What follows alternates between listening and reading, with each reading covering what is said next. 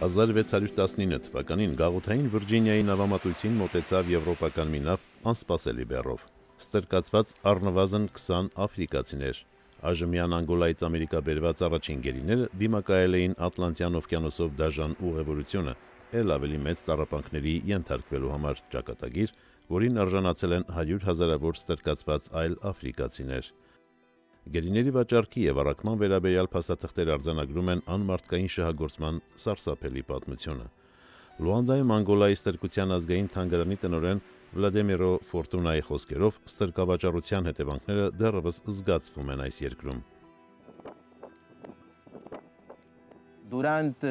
quase Գրեթե 4 դար այս տարածքը, որ այժմ կոչվում է Անգոլա, ստրուկների առևտրի հիմնական կենտրոններից էր։ Դա մեծ վնաս է հասցրել երկրին եւ առ այսօր խաղում ենք ստրկության դառը պատուղները։ E hoje vivemos as consequências do, do tráfico de escravos e da escravatura.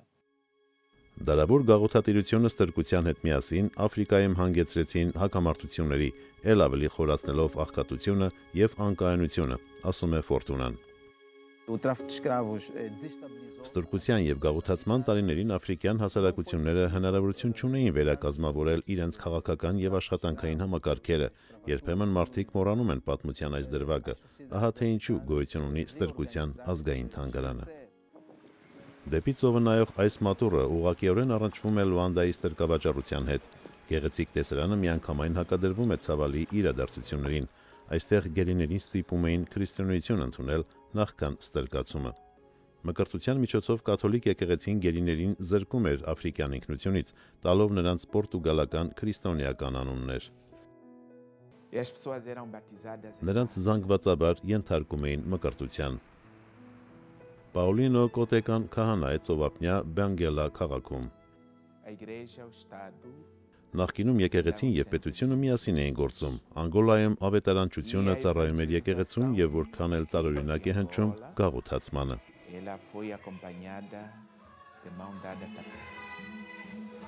Հայր Կոտեկայի խոսքերով հարկադիր դավանափոխությունները ունեին եւ լավ եւ վատ կողմեր։ Se por um lado Մի կողմից դա նորադարձներին օգնում էր ընդունել ավետարանի պատվիրանները, մյուս կողմից այն ոչնչացնում էր նրանց ինքնությունը եւ մշակույթը։ Այդ պատճառով էլ եկեղեցին հետագայում ներողություն խնդրեց իր սխալների համար։ cultura e anulou-se, tentou-se anular a sua 1985 թվականին Հռոմի Հովանես Պողոս II Պապը հորդորել է աֆրիկացիներին ներել սպիտակամորթ քրիստոնյաներին ստրկավաճառության համար։ Ատլանտյան օվկիանոս թափվող Քվանզա գետը կարևոր առևտրային ուղի էր, եւ ափամերձ բնակիչները այս կամ այն կերպ ներգրաված էին ստրկավաճառության մեջ։. Ստրուկների մեծ մասին առևանգում էին աֆրիկացիները եւ որպես միջնորդներ հանձնում ստրկավաճառներին։. Ստրկության պատճառով տարածաշրջանը զրկվել է արժեքավոր մարդկային ռեսուրսներից, ասում է Հորստը։ Այստեղից տարել են աշխատուժը, մտավորականությանը հմուտ արհեստավորներին, որոնք այսօր անհրաժեշտ են Աֆրիկայում իրավիճակը բարելավելու համար։. Պորտուգալիան պաշտոնապես արգելել է ստրուկների թրաֆիքինգը 1836 թվականին, սակայն Անգոլան դեռևս փորձում է ապակինվել իրեն բաժին ընկած ժառանգությունից։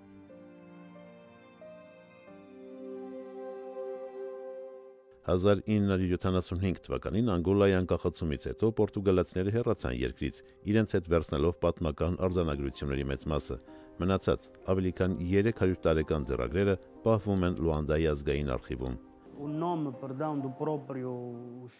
Այստեղ նշված են ստրուկի անունը, սեռը, ծննդյան վայրը, տարիքը, զբաղմունքը եւ այլն։ Իսկ վերջում գրված է գերեվարման ամսաթիվը եւ որոշ այլ տեղեկություններ։ Արխիվում պահվում են նաեւ տարբեր նամակագրություններ։ Այս մեկը պատմում է տեղական առաջնորդների օգնությամբ ստրուկների փախուստի մասին։ Որոշ ցեղապետեր հարստանում էին եվրոպացիներին ստրուկներ մատակարարելով, մինչդեռ մյուսները փորձում էին պաշտպանել իրենց ժողովրդին։ Նրանցից մեկը 17-րդ դարի Նդոնգո եւ Մաթամբա թագավորությունների թագուհի Նզինգա Մբանդեն էր։ Իր կառավարման 40 տարիների ընթացքում նա պայքարում էր հանուն Անգոլայի ինքնիշխանության։ Նա թաքնվում էր Կվանզա գետի լողացող կղզիներում, որպեսի հնարավոր չլինի որոշել նրա գտնվելու վայրը։ Նա միշտ դիմադրում էր եւ միշտ հաղթում։ Ela resistiu sempre e ela ganhou sempre. Ela venceu sempre. Այդուհանդերձ 1482 թվականից Պորտուգալացի ստրկավաճառների տիրապետության տակ անցան տարածքի որոշ շրջաններ։ 1617 թվականին նրանք հիմնեցին Բենգալա նավահանգստային քաղաքը։ Այս շենքը, որ այժմ Անգոլայի հնագիտության ազգային թանգարանն է, հազարավոր գերիների ժամանակավոր կայանն էր, ասում է պատմաբան Փաուլա Ռոսան։ Սա պահեստ էր, այստեղ գերիները սպասում էին միջև Եվրոպայից եւ ամերիկյան մայրցամաքներից ժամանող նավերը կտանեին իրենց։ Մենգելայի բնակիչներից շատերի նման Ռուսայի նախնիները ստրուկներ են եղել։. Մայրս մահացել է, ես մեծացել եմ մանկատանը, բայց տատիկս պատմել է ինձ, որ իմ մեծ տատիկին ուղարկել են Բրազիլիա։ Por Recife, lá para o Brasil. Աֆրիկայից հարավային եւ հյուսիսային ամերիկաներ գերեվարված գրեթե 11 միլիոն ստրկացված մարդկանցից մոտ 6 միլիոն այժմյան Անգոլայից էին։ Մինչև 1776 թվական ամերիկյան 13 գաղութներ է ուղարկվել մոտ 400 հազար մարդ, այդ թվում եւ Բենգալայից։ Nós já tivemos visitas de americanos. Զբոսաշրջային նավերով շրջագայող շատ ամերիկացիներ հատուկ գալիս են այստեղ տեսնելու, թե որտեղից են իրենց նախնիները։ Գաղութացման եւ ստրկության տարիներ, ինչպես վերջին տասնամյակների քաղաքացիական պատերազմը խորը հետք են թողել Անգոլայի կյանքում։ Այսօր երկիրը իր տնտեսությամբ արևադարձային Աֆրիկայում երրորդ տեղն է զբաղեցնում, սակայն 30 միլիոն բնակչության առնվազն 1/3-ը ապրում է աղքատության մեջ։ Ռուստի խոսքերով անգոլացի կին վաճառողները, որոնք կոչվում են զունգերաներ, նզինգա թակուհու արժանի հետնորդներն են։ Զունգեյրան պայքարող տեսակ է։ Նա տանից դուրս է գալիս, մթերք է գնում գյուղացիներից եւ վաճառում փողոցում։ Այնուհետեւ վերադառնում է տուն, վճարում է երեխաների ուսման, տան եւ սննդի համար։ Եվ իրենց նախկին թակուհու նման զունգերաները ամուր կանգնած են հանուն Անգոլայի պաշտպանության։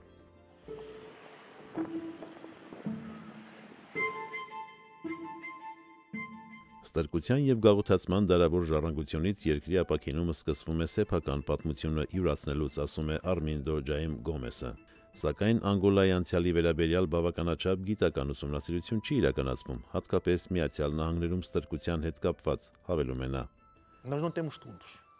Մենք չունենք այս թեմային նվիրված գիտական հրապարակումներ կամ հաստատություններ, չունենք մատենագիտական տեղեկություններ, որ เป զի ստիպված չլինեինք ապավինել միայն եվրոպացիների յուրովի ներկայացրած պատմությանը։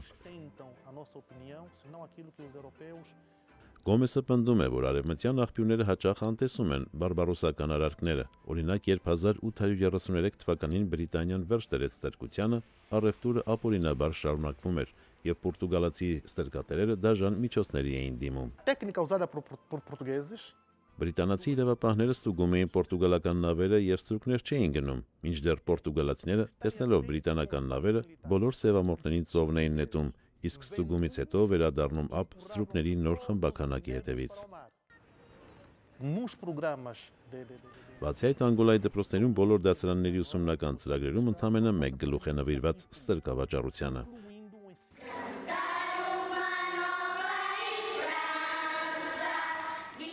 Լուանդայի միջնակարգ դպրոցում ստրկության վերաբերյալ դասաժամերին ուսուցիչները աշխատում են երեխաների մոտ զայրույթ չհարուցել ռասայական հողի վրա։ Մեր աշակերտները պետք է տեղեկացված լինեն ստրկության մասին եւ գիտակցեն, որ դա լուրջ խնդիր է։ Ցավոք սևամորտների ստրկությունը մեծապես առնչվում է ռասիզմի հետ, ուստի մենք պետք է շատ զգույշ լինենք այդ թեման դասավանդելիս։ Երբ առաջին անգամ լսեցի ստրկության եւ պորտուգալացիների կողմից գաղութացման մասին, ես ատելություն զգացի։ Դա նոր բան էր ինձ համար, սակայն հետագայում հասկացա, որ ստրկությունը եղել է շատ ավելի վաղ ժամանակներում։ Խավունգայի աշակերտները տարբեր տեսակետներ ունեն ստրկության ժառանգության վերաբերյալ։ Ստրկությունը թեև վատ երևույթ էր, սակայն ուներ իր օգուտները։ Այն օգնել է Եվրոպայի մի շարք երկրներին եւ աֆրիկյան մշակույթը ներթափանցել է այլ երկրներ։ Պետք չէ կարճել անցյալից, մենք պետք է ավելի ճիշտ ապրենք, ավելի լավ գաղափարներ ունենանք, քան մեր նախնիները եւ թույլ չտանք, որ ստրկությունը կրկնվի։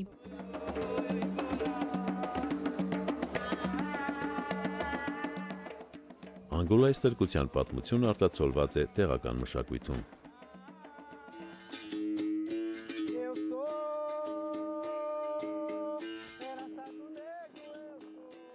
Կապոերան մարտարվեստի ձև է, որը մշակվել է ստրուկների կողմից։ Նրանք երաժշտության միջոցով քողարկում էին ինքնապաշտպանական քայլերը։ Ջուստինո Պինտո դե Անդրադեն սովորեցնում է այս մարզաձևը եւ բացատրում դրա նշանակությունը։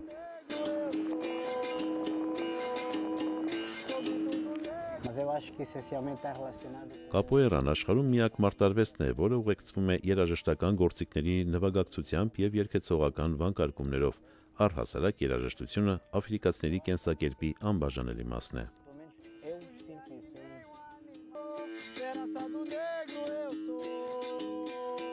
Կապոերայի երգերը հիմնականում պատմում են ստրկացված ծևամորթների մասին։